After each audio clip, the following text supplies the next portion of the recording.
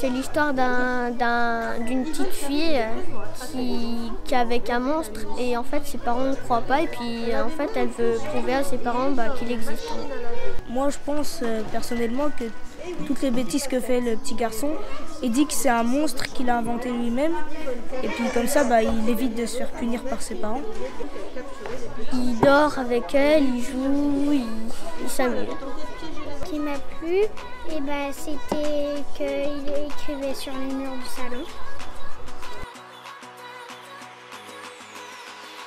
Il a volé euh, la confiture de sa maman.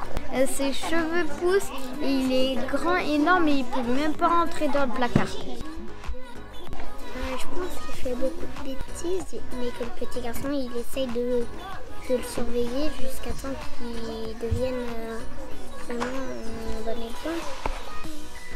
Mon monstre du placard ne veut pas se brosser les dents le matin. J'ai l'air de quoi, moi Avec une pince à linge sur le nez? Et bah, moi, je pense qu'en fait, euh, le monstre, c'est l'enfant. Et toi, t'aimerais avoir un monstre?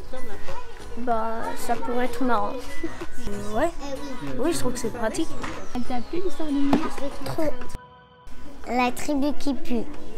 Ça parle d'une tribu d'orphelins et euh, ils ils ont appris à se débrouiller tout seuls. Sont un peu débrouillards.